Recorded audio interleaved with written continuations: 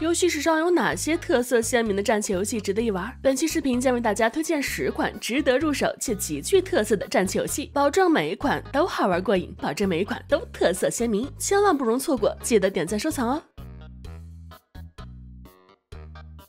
幻灵降世录》本作由韩国公司开发，用中世纪的背景讲了一个楚汉争霸的故事。是的，你没听错，如果你很熟悉项羽、刘邦的故事，大概很容易就能把人物做出对应。但好在台词脚本方面表现优秀，所以体验感不错。整体的美术风格非常写实，但毕竟是韩系游戏，就算不摆弄擦边元素，起码也不至于搞出过度甚至扭曲写实的辣眼睛角色来恶心人，所以看起来格外舒服。同时，本作的战斗演出效果也很不错，因为是写实画风，制作组。的战斗的力量感把握的不错，隐藏在盔甲之下，充满着野性的搏杀的感觉被塑造的非常好，并且每次进入战斗演出，后面的背景中又有其他士兵在拼杀的场面，使得战场的代入感确实强。只是回复系角色在使用魔方加血时，施法方和被施法方的背后都有小兵在那列队欢呼，架都不打了，瞬间有种中二感满满。合着背景板真的就都是氛围组呗，演都不演了。但是这不过就是个小槽点，纯正的中世纪风格嵌套进日式游戏的玩法中。很有趣，当做写实美术风格的简单版火纹来玩，还是非常不错的。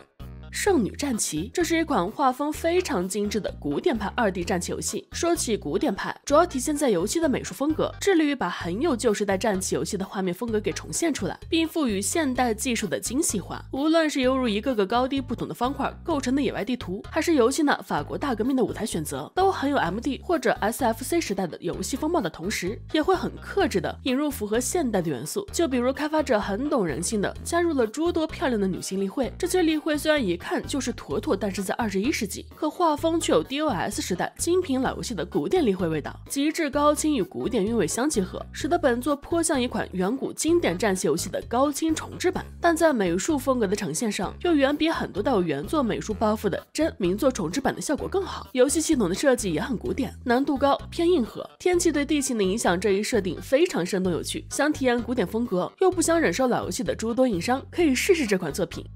陷阵之志，这是一款小体量像素风格的战棋独立游戏。虽然体量小，但本作却把小而精做到了极致。首先，本作的目标不仅仅是保护我方战力少数伤害的攻击敌人，而是在保护自己的基础上。更要保护周围的建筑物不受伤害，因为建筑物存亡决定我方机甲的电量。如若电量归零，意味着战斗失败。同时，本作还包含了一个击退系统，而活用击退不仅可以阻碍敌人的进攻意图，还可以附带地形伤害，比如让其掉入水中、掉进火力，敌人之间互相碰到会有伤害。击飞的敌人撞到地形单位，也会对地形单位造成伤害。同时，为了战斗更加的紧密，游戏的敌我血量不再是精准的数值，而是采用了更加直观的次数概念。因此，玩家每一次行动要考虑的条件。要素都非常充实，某种意义上把本作看作是战棋游戏中的解密游戏也是可以的，非常值得一试。超级机器人大战 V，虽然激战类游戏一直都是比较粉丝向的类型，但我不得不说，机器人战斗真的很有魅力。汇集了包含高达、EVA 等优秀作品大杂烩的机器人大战系列，凭借着优秀颇具张力的战斗演出，生动的把每一代少年都会争论的关公战秦琼的名场面，凭借游戏给完美呈现出来。通过精妙的世界观编排，让一众优秀作品的人气角色带着他们的机甲展开一场宏大而热血的剧情，可是任何人都不该拒绝的。而这个系列中，如果不去考虑激战 A 这种 GBA 平台上的元老级作品的话，我个人认为最适合推荐的就是《超级机器人大战 V》这部作品了。首先，自然是要考虑平台的便利性，PC、PSV、NS、PS4 几乎覆盖了大部分玩家群体。其次，本作在上手难度方面也是有着诸多优化，对刚入坑的新玩家极为友好，而且不同角色之间的互动也非常有趣。从视觉呈现的角度来说，哪怕你是一个激战小白，仅仅是欣赏机器人，体验演出超级过瘾的战斗，本作也将会给你带来非常不错的体验。高级战争毁灭之日，如果你了解过高级战争重置版，你会发现它格外放大了系列中的卡通风格，甚至看起来像是玩具载具在战斗似的。而这部在 NDS 平台推出的高级战争毁灭之日则完全相反，游戏的风格全面靠向欧美写实，战斗视角也从过去的排排站变成了四十五度倾斜视角，最大程度在 NDS 上放大敌我双方战场上的画面张力。故事自然也一同转向黑暗沉重的写实风格，配合着带有些许诡异感的音乐，废土战场的氛围被呈现的非常完美如果喜欢玩主打兵种配合且颇有战略深度的作品，那么本作应该会很适合你。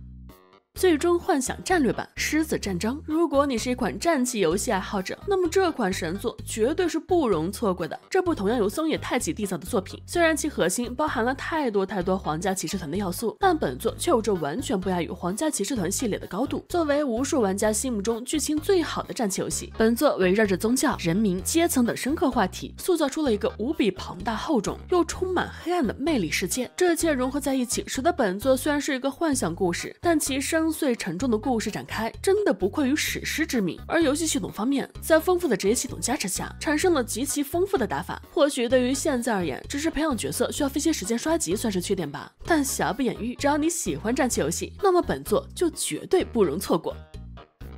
尤特纳英雄战记。类指轮传说，本作同样是一款传奇的战棋游戏，由火纹之父加贺照三所创。他继承了老火纹的特点与玩法，并在此基础上全面的加强。某种意义上，这大概是制作人脱离了任天堂的束缚后做出的最严谨、最耗心血的诚意之作。可惜由于其玩法内核过于和火纹相似，制作人又在宣传时高调拉火纹站台，这一举动彻底惹怒了任天堂。经过四年法庭鏖战，在最强法务部的雷霆手段下，制作人输了官司，但好在勉强保住了发售权。才使得本作得以面世。比起系列的超高难度的续作，本作整体难度尚可。虽然制作人当年那句“最后大作”的宣传口号，让本作连个最后都差点没有了，可游戏品质是真的担得起为火纹玩法的上线画句号的海口。大气的剧情，颇有魅力的角色塑造，线索铺垫亦是做的极为精妙。拿出些耐心，这款战棋类游戏的巅峰之作，一定会让你收获满满，常玩常新。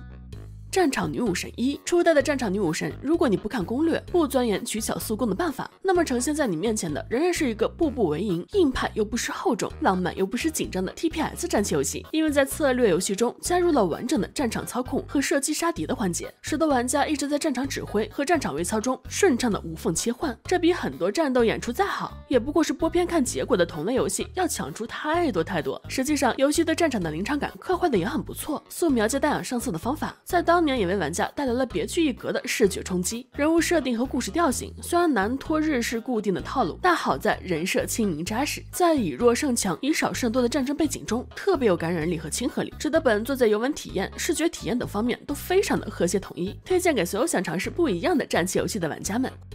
火焰文章结合，当当当当！说到战棋游戏，怎么能不提一下火焰文章？火纹系列绝对是每个喜欢战棋游戏的玩家必玩的经典。如果你是新玩家，那么作为火纹系列的最新作，可能会更适合你。在本作之中，玩家可以控制主角与过往作品的主角合体，从而在短时间内变得更强。虽然合体后的形象比较抓马，如果知道这抓马的合体系统灵感竟然是来自于前几代作品的结婚系统，就更抓马了。但要是说合体后瞬间获得可观的强度所带来的爽快感，本作呈现。的确实是非常优秀。对于新手而言，战棋游戏里一招失误满盘皆输的情况，这里也不会出现。回溯机制的存在，让一些负反馈都变得相对柔和。为了保护这份爽快感，本作也没有回合限制，没有武器耐久，更没有太多附加事项，逼迫玩家不得不加快进攻节奏。是猛是稳，全凭自己。可能建模人设的审美是差了点意思，但可玩性方面确实是非常不错。